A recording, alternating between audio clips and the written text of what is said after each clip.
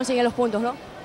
Sí, eh, lamentablemente no conseguimos lo que queríamos y creíamos haber tenido el partido y se nos fue con pequeños detalles y pagamos caro los errores. ¿Qué crees que le faltó en el segundo tiempo para mantener esa ventaja? Bueno, creo que, que nos pesó mucho el haber recibido un gol empezando el segundo tiempo. Por allí no estábamos muy atentos al principio y creo que eso nos costó el partido. ¿Cómo sentiste la línea defensiva? De verdad que muy bien, eh, me siento cómodo con mis compañeros, eh, creo que hicimos un excelente partido y bueno, a seguir trabajando. Ahora a pensar en Chile, ¿no? Sí, pensar en Chile, rival complicado, pero a sacar puntos como sea ya. Bueno, eh, que sigan apoyando, sé que estamos pasando por un mal momento, pero seguiremos dando el todo por la camiseta.